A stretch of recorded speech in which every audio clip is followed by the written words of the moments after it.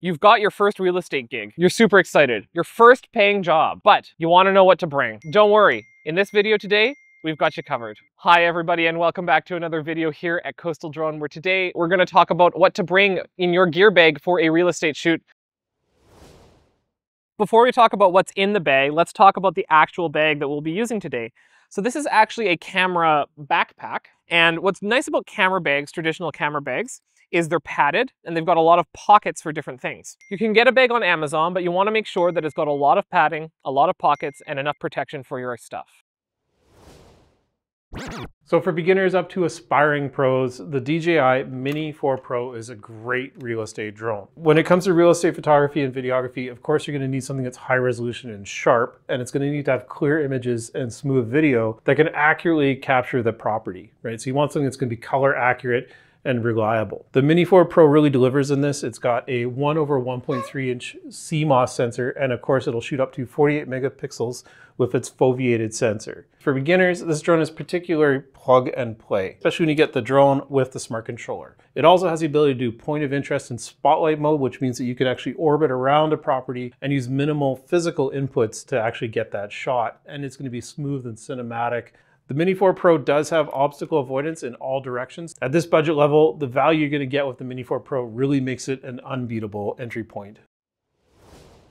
Most of the time when you are shooting in residential areas, you'll have a good hard surface to take off from. Maybe you're in a less populated area, maybe you're shooting commercial real estate, which case you might not have a great surface to take off from. In these situations, dust, dirt, and other crap can get into the motors of your drone. So it's always a good idea to have a landing pad with you. This is an inexpensive landing pad, about $30 on Amazon. It is weighted, so it will not blow away.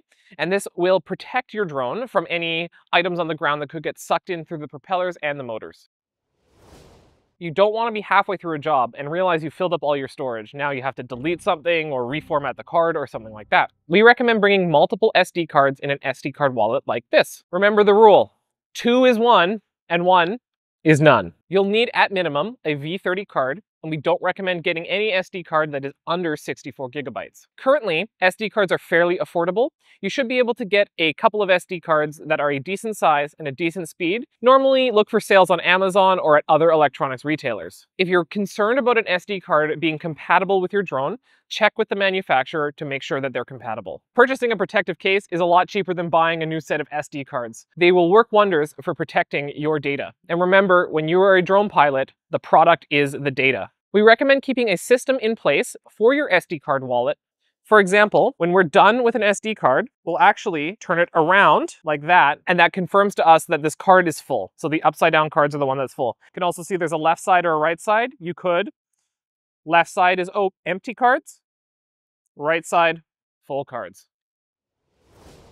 Most drones these days are pretty good on battery life, especially when you're flying slowly in a cinematic way, but you never want to show up to a job with just one battery. We always recommend having multiple batteries. When you're purchasing a new aircraft, if it's a DJI aircraft, we recommend getting the Fly More kit, which comes with three batteries. That's triple the flight time. Depending on your aircraft, you can also purchase standalone batteries, getting yourself more and more flight time.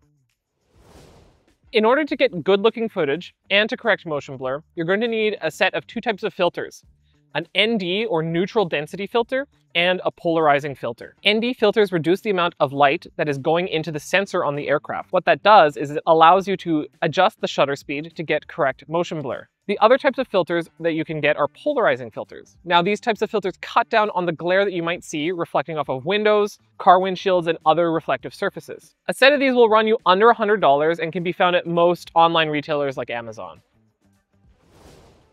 In the event that your drone ends up in a tree, we're not going to judge why that ended up in the tree, you might want to bring an extra set of propellers and the tools required to swap them out. This is another reason why you want to purchase the Fly More kit as it will come with an extra set of propellers and the tools required to change them out. If you're new to drone real estate, we have a whole episode that goes in to how to get started in the drone real estate space, so if you're interested, you can check that out. As soon as the shoot is done, it is a best practice to get a backup of your footage. Either bring a laptop with you on site and back it up there, or make sure that it is the first thing you do when you get home. So one of the things that can happen when you're taking on, putting off filters, or just even handling your gear is you can get a fingerprint onto your lens. This will affect the quality of your shot. That's why it's always a best practice to bring a microfiber cloth like for your eyeglasses. Make sure that your lenses are clean. If you're using one of the remote controls that uses your phone as the screen, you're gonna need to bring a backup power bank. Using your phone as the screen is gonna chew through your phone's battery pretty quick and you need to have your cell phone available in case there's an emergency. You can also use a battery like this to charge your drone's batteries between flights. Make sure you have maximum airtime. We always recommend using one of the remote controls that has the built-in screen. If you're in a bright environment or an environment where the weather is constantly changing like it is today, having the screen built in will be very, very beneficial to your operation. On a side note, make sure that you're comfortable for the flight, comfortable for the elements. Hat, water, Advil if you need it, food, whatever you need on site to make sure that you feel comfortable and safe for the flight. If you're feeling unwell, if you're feeling unfit to fly, do not fly. Did we miss an essential that's in your gear bag? Make sure to let us know in the comments. If you've liked this video, make sure to hit like and subscribe. We've got more videos coming. Otherwise, we'll see you on the next episode.